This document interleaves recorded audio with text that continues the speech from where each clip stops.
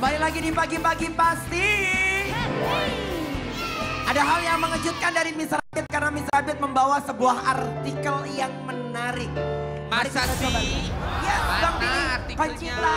Apa tuh? Ya, ayo mudah-mudahan Koncita nggak dipoligami ya. Tak menolak nikah lagi meski sudah punya dua istri. Kiwil, saya pantang nolak karena mubazir. Wow. Gokil. Dua aja ribut mulu, nambah satu, bubar dunia. Gimana tuh? Gimana tuh artikel tadi? emang gak mau bagi Bang Billy belum Tadi sekali juga pas waktu waktu Iklan. iklan kan kita udah ngobrol. Iya. gitu. Jadi Hmm. orang ini kadang-kadang ngelihat Kiwil itu taunya apa poligami, Iya. istri dua gitu. Iya. loh. Jadi kalau sebenarnya ini pertanyaan orang. Iya. Orang itu kalau ngelihat mukanya Kiwil, Iya. pasti yang ditanya, Wil, istri masih berapa? Dua, Alhamdulillah. Mau nambah lagi nggak? Itu dan sering diulang-ulang sama Iya. orang. Nanyain bini, nanyain bini, nanyain bini. Jawaban mereka apa? Kapan nambah lagi? Iya, iya. Terus Pertanyaan, jawaban terus gue jawab apa? Ya paling gue cuma bilang, amin, insya Allah selesai. Iya. Jadi ada keinginan gak dari dalam hati? Hah? Ada keinginan gak? Keinginan nggak ada hasrat. Tapi kalau pertanyaan akan saya jawab gitu. Oke. Nggak ada hasrat untuk menikah lagi nggak ada. Iya. Nggak ada keinginan. Tapi tiba-tiba kalau misalnya Allah kasih, nggak saya nggak bakalan nolak. Tadi dia bilang nggak nggak bakalan. Tapi kalau nggak salah Mbak Megi bilang sendiri katanya Bang Kiwil ingin menikah lagi. Sama orang. istri ketiga. Mana waktu itu? Apa gitu ya? eh, dia ngeli, dia kan nonton dari media-media. Tasik, Sumedang atau apa gitu ya? Iya. Tapi dari Bang Kiwil sendiri ada keinginan keinginan nggak mau nambah tiga gitu loh. Tidak ada Dari hati. hasrat. Nggak ada ini ya. Belum sesuatu ada. itu nggak ada nggak ada hasrat lah. Atau udah ada yang ini belum coba ngabarin gitu. Kandidat-kandidatnya ada yang udah nawarin gitu ke Mas Kiwil. Saya tunggu aja lah. Saya tunggu siapa yang mau daftar silahkan. Assalamualaikum. Waalaikumsalam.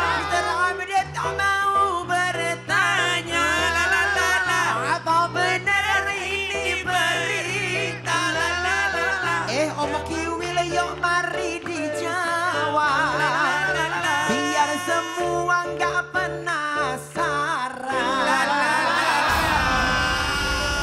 Ada pernyataan dari Mbak Megi yang bilang kalau sebenarnya tidak cuma Mbak Megi saja yang minta cerai, tapi ternyata katanya Mbak Megi, Mbak Rohima sebagai istri pertama juga punya keinginan untuk berpisah. La, la, la, la.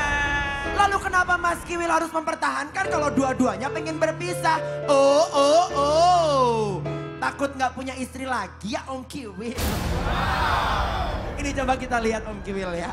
Emang Danang mau daftar? Eh, nggak bisa. Forbidden. Tapi dulu kan waktu Kiwil nikah lagi dengan Mbak Megi, istri pertama Kiwil tetap bertahan. Kenapa nggak kayak waktu istri pertama Enggak Mas juga, Kiwil? enggak juga. Aku nggak berhak ngomong di sini. Kondisinya dilema juga. Sama Mbak Rohima merasakan yang saya rasakan juga, Iya, sama. oke. Ada kata-kata ingin pisah juga sama gitu. Cuma ya apa ya, kalau saya lebih berpikir ya udahlah saya ingin eh, apa ya membina rumah tangga sendiri aja artinya ingin ngurus anak-anak aja gitu. Apa sudah ada? Kalau dari pandangan saya Mas Kiwil, kayaknya Mbak Megi ini memang benar-benar ingin bercerai sama Mas Kiwil dari statementnya, dari kasat mukanya, kayaknya Mas Kiwil yang benar-benar ingin bertahan banget gitu loh. Nah gimana tuh Mas Kiwil? Ya memang saya akan bertahan sampai saya bilang eh inilah nikmat sebuah ibadah.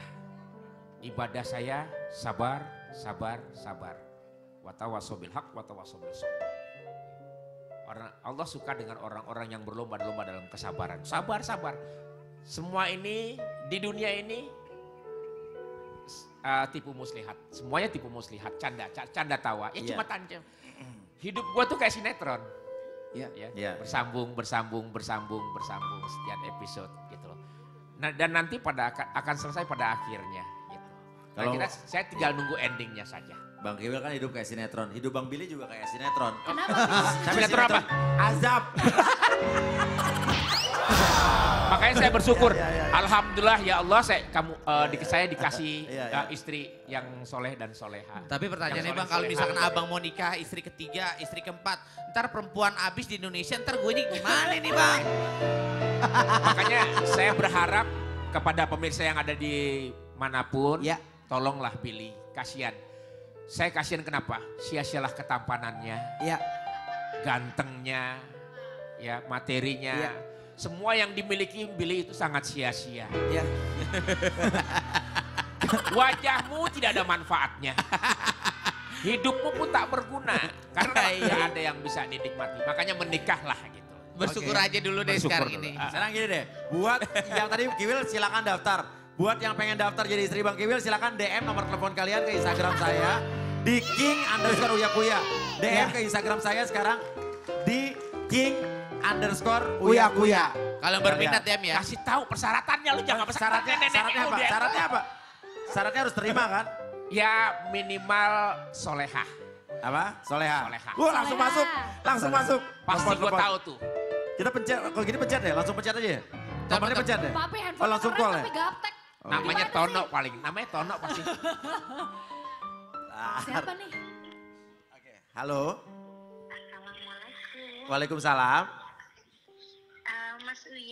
Tadi saya nonton eh, pagi-pagi happy. Iya, ini ini yang yang barusan yang barusan kan? Iya, ini. Oke. Ini gimana nih? Mau eh, mau jadi istrinya Kiwil? Aduh, ternyata Mas Kiwil tuh kalau dilihat di TV tuh sangat mengagumkan.